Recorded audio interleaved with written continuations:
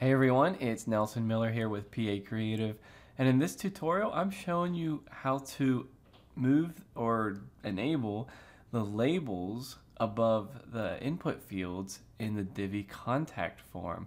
So by default the labels, if you want to call them that, are like placeholder text. They're inside like the name field, the address field, message field. They're inside there. But in a lot of contact forms, they're actually shown above the field. And I'm going to show you how to do that.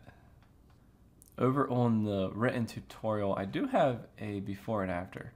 It'll look like that. So you can kind of see, you know, by default, name, email, message inside, and then here above like that. What we're doing is using CSS code to, you know, enable this label. It's actually there in the code. We're just enabling it and um, it's it's pretty simple. So let's let's just do this quick. Step one, take this CSS class here, PA contact form labels, and copy that. And you can see where we're gonna put it in this screenshot here. So we're gonna put it inside the module right here. So I'll just go over to this site, go to the advanced tab, CSS ID and classes. Right here where it says CSS class, make sure that you put that in there just like that and that's it. You can save that.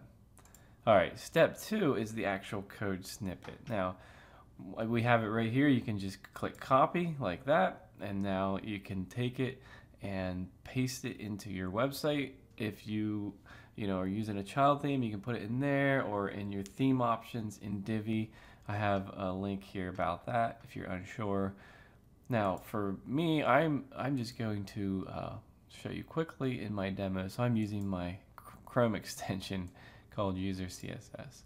All right, now I am going to paste and you can see instantly everything changes.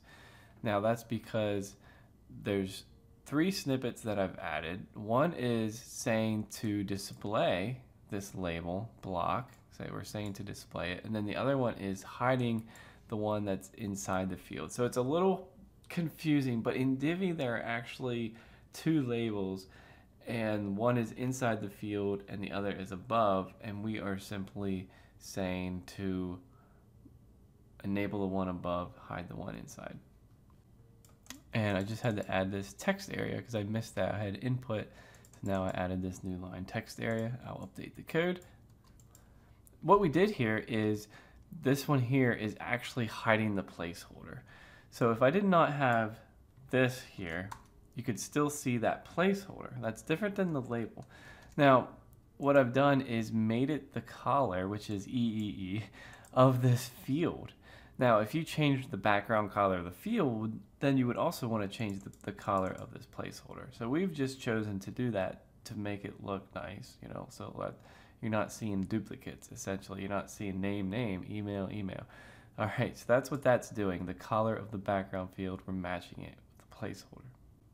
All right, and then the last thing here, if you want to style that label text, I have a little bonus snippet here. You can copy that.